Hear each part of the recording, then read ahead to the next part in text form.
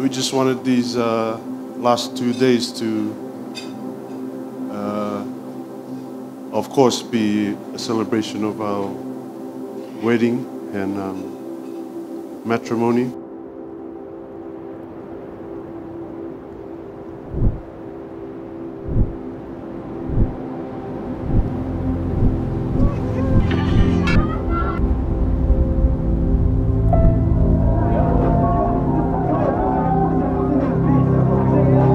Also wanted it to be an excuse for us to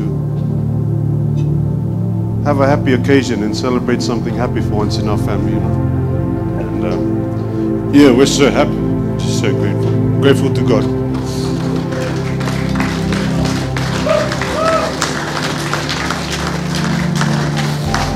His kindness, His mercy.